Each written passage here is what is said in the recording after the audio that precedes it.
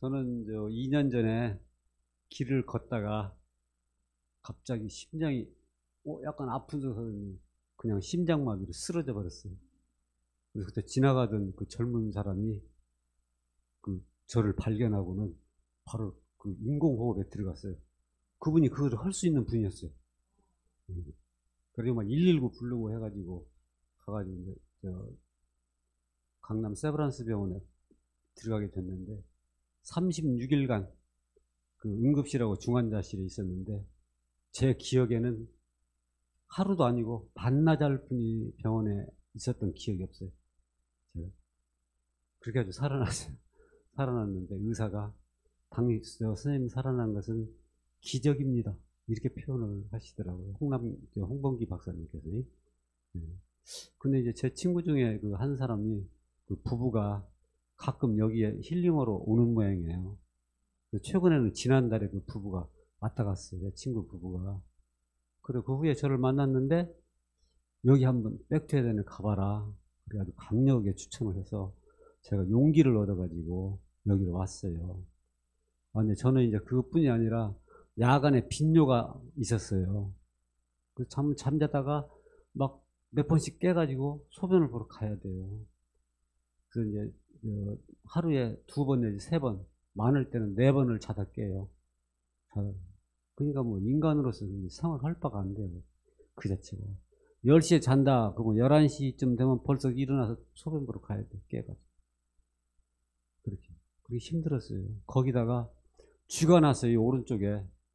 새벽에, 새벽이 되면은 발, 종아리, 허벅지, 쥐가 내가지고 어떨 때는 여기 딱 만져보면은 그냥 막 장작 있죠, 장작. 탁탁. 장작 만지는 것 같아요. 아, 아, 막 이러면서 새벽에 일어나고. 매일같이. 매일. 그래서 좀 그런 게 힘들어서 좀 그거 했어요.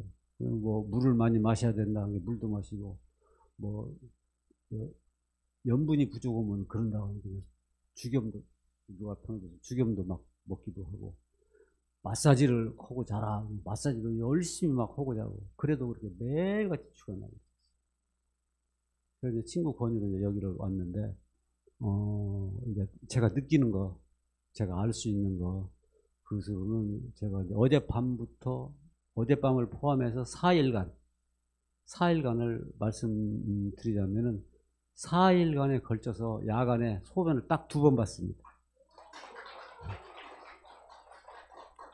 제가 생각해도 어떻게 믿어지지가 않아요. 딱 두 번.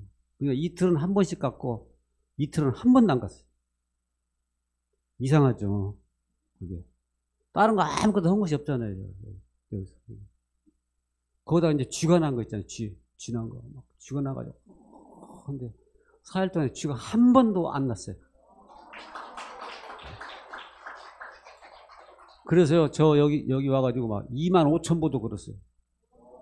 2만 5천 보, 1만 5천 보, 2만 보 이상 그렇게 막 걸은 날이 있어요. 여기 있는 동안에. 어제는 1만 5천 보 때 걸었어요. 선생님이 살살 걸으라고 그러셔가지고 쪼주더라고요. 그리고 제 피부가요, 뭐, 뭐 로션이고 뭐고 아무것도 안 쓰거든요.